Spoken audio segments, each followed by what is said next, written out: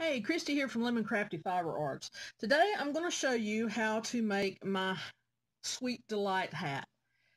The Sweet Delight hat is made with number 5 bulky yarn. Um, I'm particularly using the yarn from Michaels. It's Loops and Threads Charisma. I know many of you are familiar with that yarn.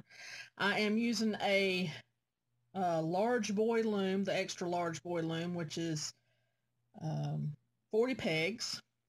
And this hat can be made with a number 5 bulky. You can make it on a 5 8 gauge or half gauge. If you want your stitches a little closer, you can make it on a hat. It'd be a little bit tighter.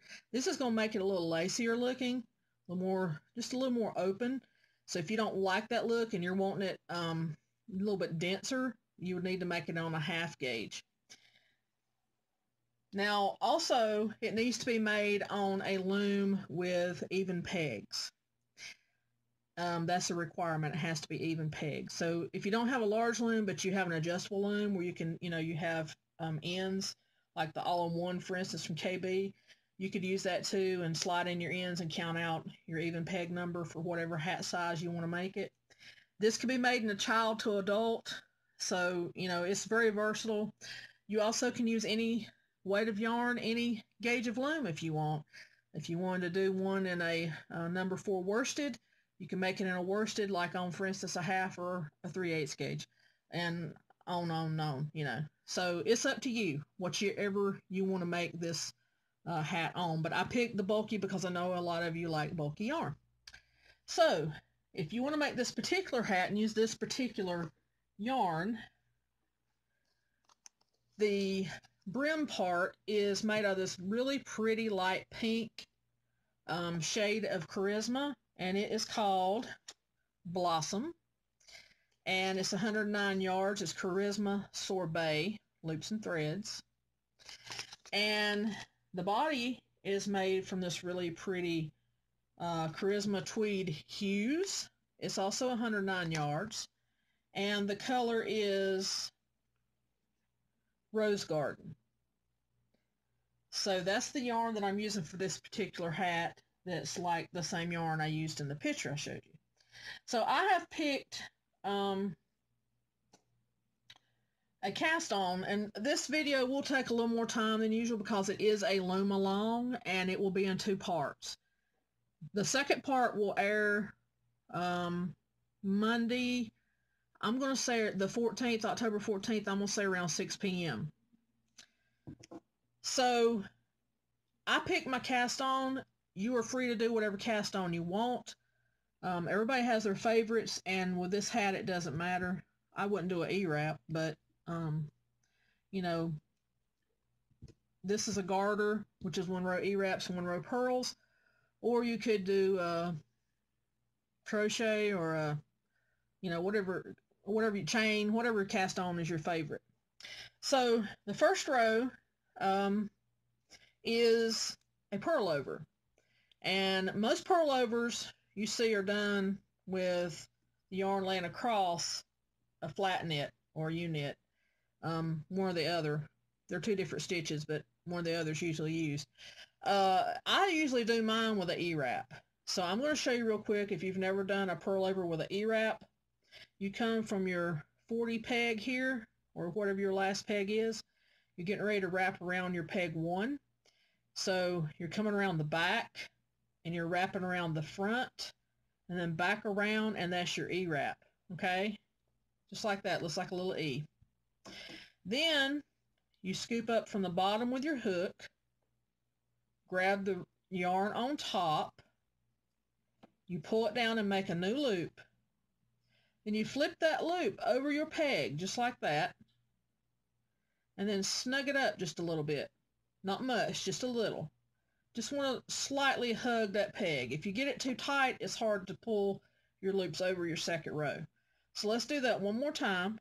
Around the E-wrap, scoop up from the bottom, pull that loop down, just like that. Flip the loop back over the peg, back side, just like that. Okay? Then take your working yarn and snug it up just a little bit. Okay? So now we're going to do purlovers the whole first row.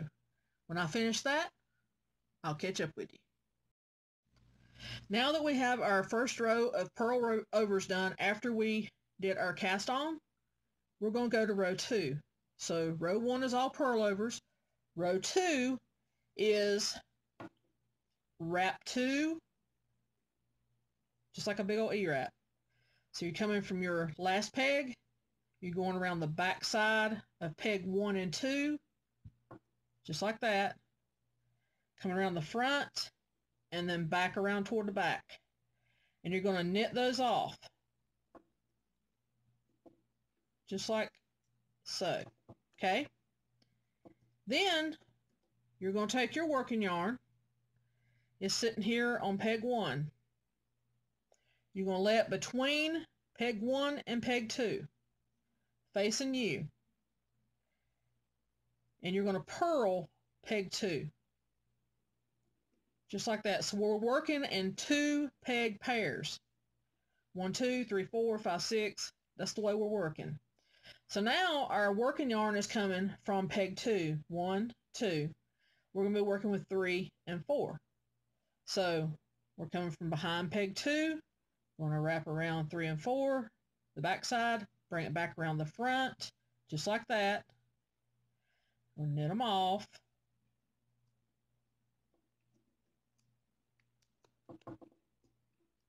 And we're going to take our working yarn. It's now coming from peg three. We're going to purl the second peg in our two pair set. Remember, one, two, three, four. This will be the second peg in this pair set. And purl it just like that. So I'm going to do one more set without talking.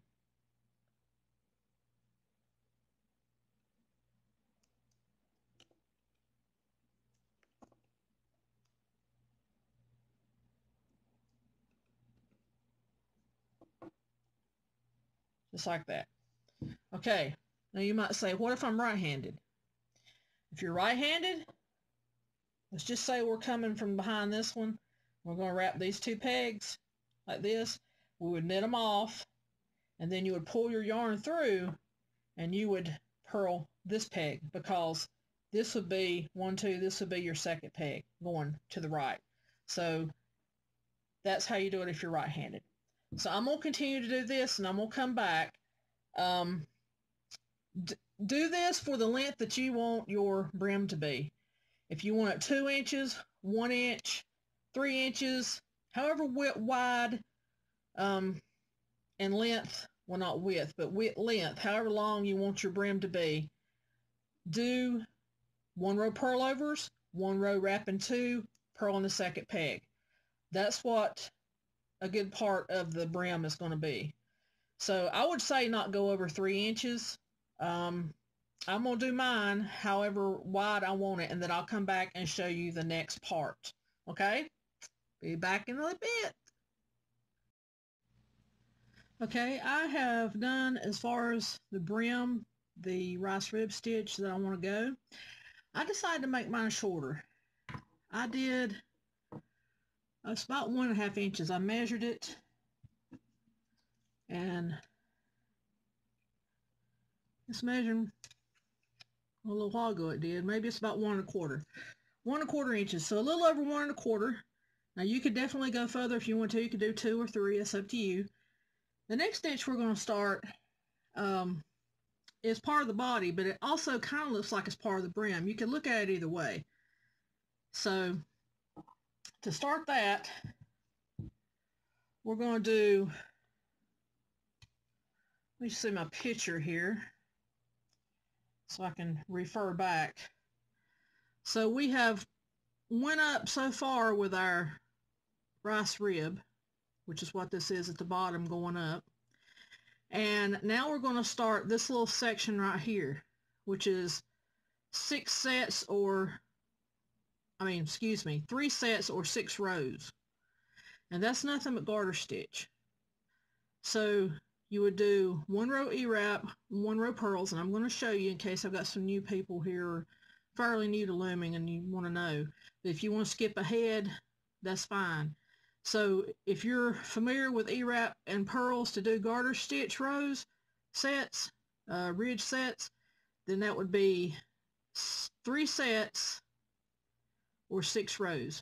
So you do one row E-wrap purl, another row E-wrap purl, and another row E-wrap purl. So be, that would be three sets. Okay, so I'm going to show you, and like I said, if you've already familiar with garter stitch and that type of thing, then you can move ahead. The next video will come out October, um, as I mentioned, the 14th, around 6 p.m. Eastern Standard Time, and we will finish the body and bind it off, okay? So that way it'll give anybody a few days if they want to loom along with me to catch up and take their time with it. This is fairly a, a fast hat. It's not going to take long to make it at all. You could easily make it in a day if you had the time to sit down and spend to make it. So we will do this real quick and then mon uh, yeah, Monday the 14th we will finish this and bind it off. Okay? Okay, so for those of you that have not done a garter stitch before,